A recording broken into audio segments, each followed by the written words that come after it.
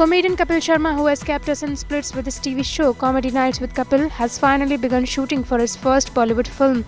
Kapil will be working with actress Elli Avram and Arbaaz Khan.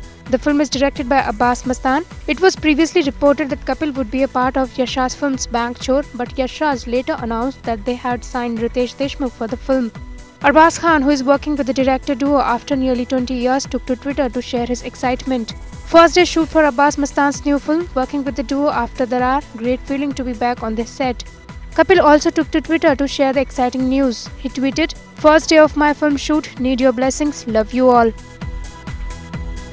IANS report.